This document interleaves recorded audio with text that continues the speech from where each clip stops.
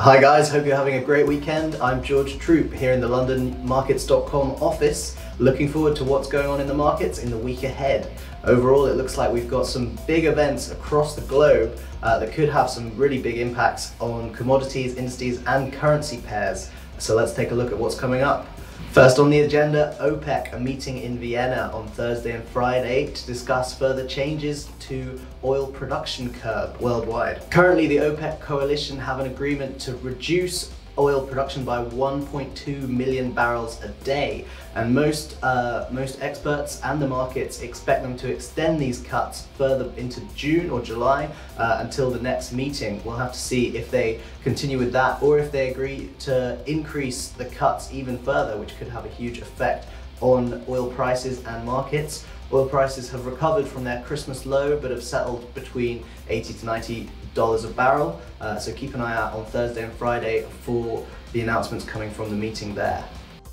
Australia, the RBA is meeting on Tuesday to discuss Australian interest rates. The Royal Bank of Australia are expected to make further cuts eventually, but will it be this meeting? Their last meeting, uh, they agonized over the specific cuts to make. Uh, and so markets expect there to be no change at this particular meeting, uh, but if Australians are, if the Australians are feeling more aggressive, it could have a serious impact on the currency pairs. Moving on to PMI figures, can Chinese manufacturing figures uh, continue to defy pressure from the US-China trade war? We may find out with the release of the Caixin PMI figures on Monday. A month ago, the survey hit its, hit its highest in three years as factory activity outweighed US-China trade doubts.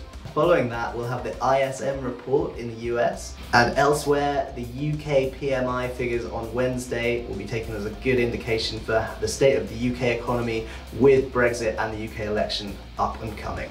And looking ahead to Friday, it's non-farm payrolls day in the US. The monthly US labour figures are always closely monitored and can have a very quick impact on the markets. Although things are running at a slower rate than 2018, the US labour market continues to stay intact. Last month's report showed non-farm payrolls up 128k in October, well ahead of the 85k that was previously expected.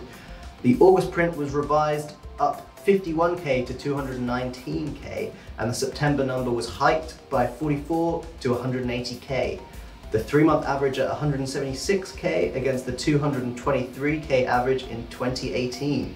The revisions are really the bright spot as it indicates August and September prints were nowhere near as weak as thought. It'll be really interesting to see what happens with this month's results. And finally, on Wednesday, the Bank of Canada will be meeting, uh, although they are not expected to change cuts at all. Uh, markets have been eyeing a cut upcoming, but for the moment, officials believe things are right for now.